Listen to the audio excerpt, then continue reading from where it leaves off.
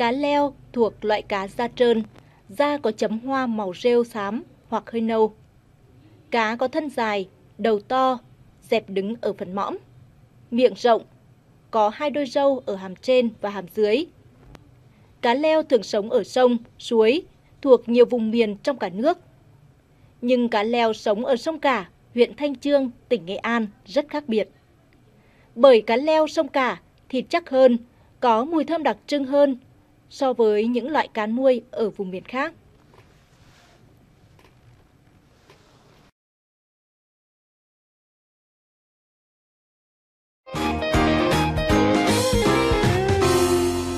Xin kính chào quý vị và các bạn, tôi là Hồ Cường và hôm nay tôi rất vui được đồng hành với quý vị và các bạn trong chương trình Ngon và Lành. Chắc quý vị và các bạn ai cũng đã một lần nghe tới dòng sông cả ở Nghệ An với những đặc sản nổi tiếng của nó như cá mát, cá com. Nhưng chúng ta không thể quên đề cập tới đó là cá leo. Loài cá leo ở dòng sông cả Nghệ An có những hương vị đặc trưng riêng của nó mà các dòng sông nơi khác khó có thể có được. Và trong chương trình Ngon và Lành hôm nay, chúng tôi sẽ hướng dẫn đến quý vị và các bạn chế biến các món ăn từ cá leo làm sao để thơm ngon bổ dưỡng và không mất đi hương vị đặc trưng của nó. Hôm nay chúng tôi có mời đến anh Hồ Sĩ Khánh, bếp trưởng nhà hàng Vườn Đá. Vâng, chào anh. Vâng, đối với nguyên liệu là từ cá leo thì hôm nay anh sẽ thể giới thiệu đến chúng tôi những món ăn như thế nào ạ? À, xin giới thiệu với các bạn cá leo thì rất nhiều món nhưng mà cái món đặc có thể là muối óm măng dưa và hấp. Nhưng mà cái món hôm nay tôi muốn giới thiệu về à, các bạn về mọi người là cá léo kho nghệ đặc trưng của nhà hàng Vườn Đá. Vâng, đối với món cá leo kho nghệ này thì nó có những cái đặc trưng gì so với ờ, các món khác ạ? cá léo kho nghệ thì đặc trưng là nó thịt nó dai ngon và kết hợp với cái chỗ nghệ chúa và hành tắm thì khi kho bỏ vào à, cuối cùng mình bỏ lá nghệ tươi ấy, thì nó dậy ra cái mùi rất là thơm ngon và phù hợp với cái món cơm nóng mùa đông Vâng. Và bây giờ chúng ta có thể sẵn sàng để chế biến món cá leo kho nghệ chưa anh? Dạ, được rồi Thế đối với cá leo kho nghệ này cái đĩa này thì chắc anh đã sơ chế rồi đúng không ạ? Dạ, đúng rồi đấy là điện này là để sơ chế chuẩn bị sẵn đấy. Vâng, khi mà sơ chế món cá leo là một loài cá da trơn và có nhiều tuyến nhớt thì mình có cách xử lý thế nào anh? Dạ, đặc biệt về cá léo thì nó giá đất trơn và tuyển nhợt nhiều thì mình nên ờ, có trước khi sơ chế thì mình dồi nước sôi khoảng 7 80 độ đấy. Vâng. Lưu ý là không được nước sôi quá nó sẽ bóng da và làm ảnh hưởng đến chất lượng món cá thì ờ, với thứ hai nữa nó có cái hai cái tuyến ờ, nước nhơn ở hai bên thì mình dưới mang mình khi sơ chế mình nên chọc để ờ, nặn hết cái tuyến nhợt ra thì khi cá mình sạch nhợt được Vâng, đầu tiên thì mình sẽ làm gì anh? Dạ, đầu tiên thì sau khi đã chuẩn bị cơ bản sơ chế cá xong thì mình đập hành tắm và nghề giả nghề nhỏ Vâng. Đây.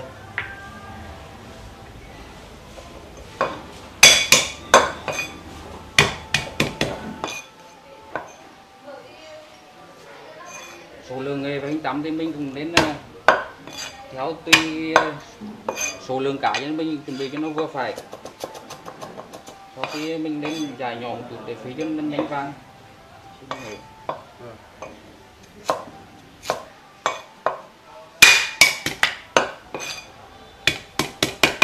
Đối với nghề này thì ờ, với hành tắm thì nó có tác dụng như thế nào khi nấu món cá kho nghệ anh? nghề về hành tắm thì là tác dụng của nó là để khử tánh ấy.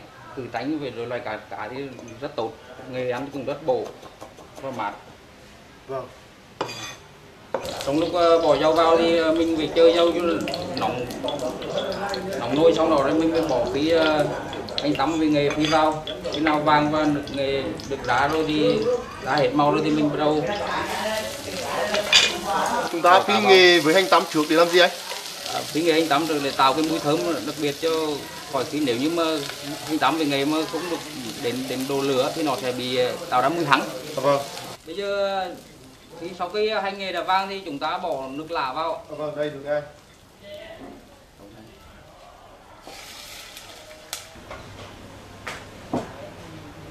Bây giờ thì mình phải chơi cho nước sôi anh. không ạ cái món cá léo không nghề thì mình lưu ý đặc thù về cá léo tức là cá đông với cá léo là mình nên để cái chỗ mình không khó về nước sôi mà mình khó về nước lạnh đó là cái riêng của đặc, trưng của cái cá không nghề Dạ Vâng. Thì bây giờ chúng ta bỏ cá vào luôn. bây giờ chúng ta bỏ cá vào luôn và đồng thời nêm điểm gia vị Dạ vâng.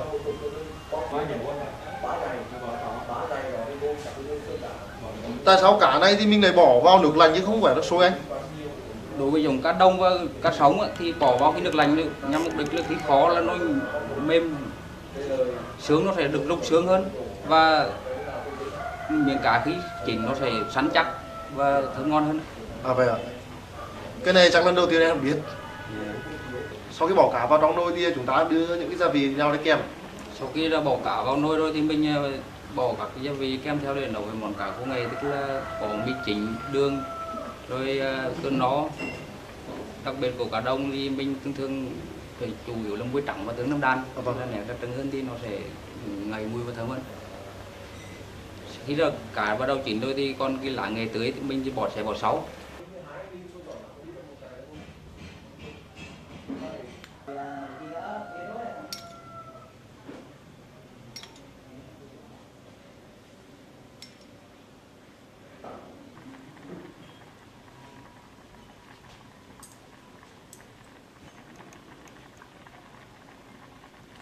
Bây giờ là cá số thì chúng ta phải chờ bao nhiêu phút thì thành cá thành phẩm ấy. cá sối này thì bây giờ mình ờ, chơi khoảng 25 đến 30 phút nếu như mà càng lâu mà khi cá sối thì mình cần nhỏ lửa để cho cá sối lưu riu có thời gian thì nó sẽ rút xương và khi thịt nó sẽ sắn chắc và ngon hơn Đối với cái món cá leo khô nghề này thì chúng ta nấu trong thời gian bao lâu nó đạt tiêu chuẩn đấy? món cá leo khô nghề mà để đạt tiêu chuẩn đến độ ngon thì mình phải khó từ 25 đến 30 phút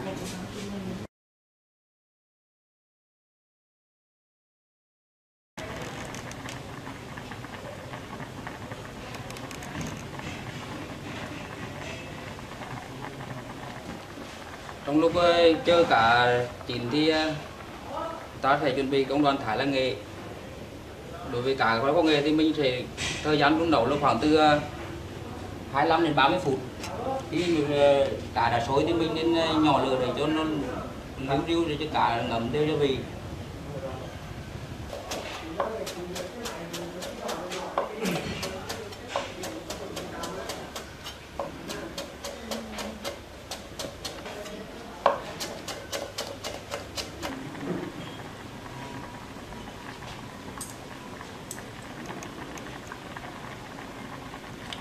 khi ờ, cá đã có đến độ chín và được rồi mình ờ, bỏ là nghề tưới vào khi bỏ là người tưới vào thì nó sẽ tạo ra cái mùi vị đặc trưng của cái món cá leo khô nghệ nếu thiếu là nghề thì nó cũng mất ờ, hấp dẫn thú vị và cái đặc tính của món ăn Bây giờ cá đã chín thì chúng ta bắt đầu trình bày cá ra đĩa nhé.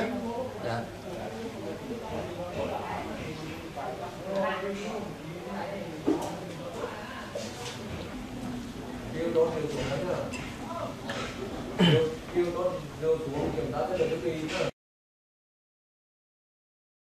Như vậy là chúng ta đã hoàn thành món cá leo kho nghề đúng không anh? Vâng, đối với món cá leo kho nghề này khi hoàn thành thì chúng ta làm sao để nó đạt cái tiêu chuẩn như thế nào là đúng ạ? để cá leo kho nghề mà đạt tiêu chuẩn ngon á, thì trước tiên là cái miếng cá nó về nguyên cũng được nạt thịt săn chắc màu thì à, vàng óng và cái đồ nước nó phải có độ quyền đều để mình làm được là chất lượng món ăn Vâng, xin cảm ơn anh. chào anh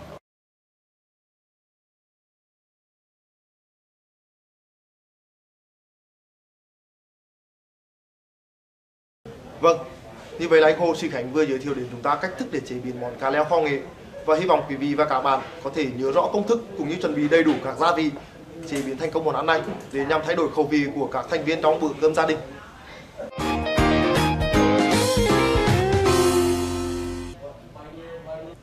Cá leo kho nghệ có màu vàng óng của nghệ, cùng với mùi thơm của lá nghệ, hành tăm, tương nam đàn, tạo thành một món ngon khó tả, vừa dễ ăn, vừa ngon, vừa lạ miệng, chất lượng vượt hẳn so với nhiều loại cá khác. Thịt cá leo thơm, ngọt đậm, không có xương ngang, nên trẻ nhỏ hay người già đều dễ ăn. Trong tiết trời se lạnh của miền Trung, cùng gia đình, bạn bè thưởng thức món cá leo kho nghệ với cơm nóng thì thật là thú vị. Mùi thơm của thịt cá hòa quyện với vị béo bùi của các gia vị tạo nên món ăn hấp dẫn, rất khó quên.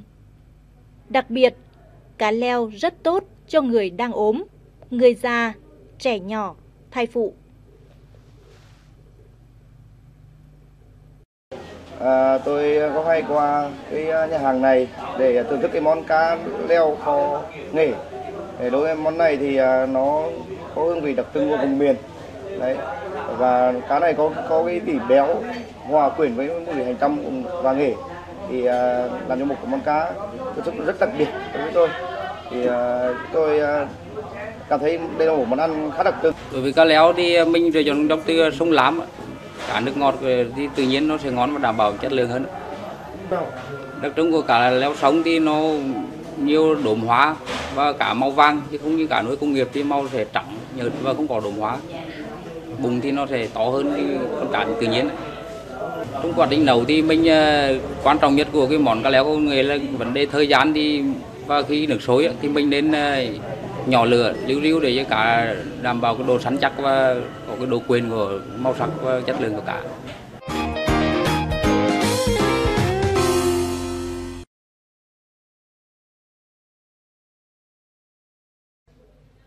Nguyên liệu, Cá leo 1 kg Gia vị, Nghệ tươi, Hành tăm Tương năm đàn, Muối, Dầu ăn. Cách làm Cắt cá leo, bỏ mang, ruột và vây. Dùng nước nóng và muối để làm sạch nhớt. Chọc hai lỗ hai bên mang để loại bỏ tuyến nhớt phía trong cá. Cắt khúc khoảng 3 đến 5 cm.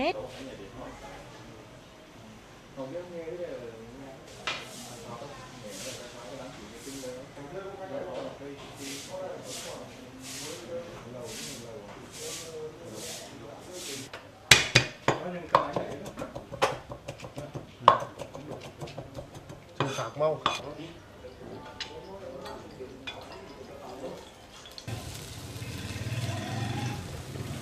Phi hành và nghệ đã giã nhỏ tới khi có mùi thơm. Bỏ cá leo vào, cho thêm nước lọc và các gia vị còn lại. Đun vừa lửa trong khoảng 30 phút.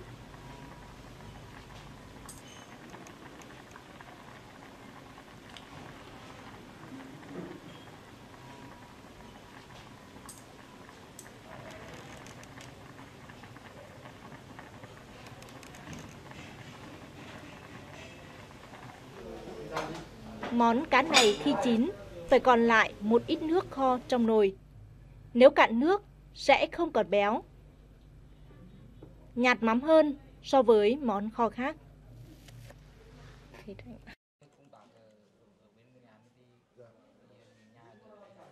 Vâng, em chưa nhà cửa hiện em ở trọ.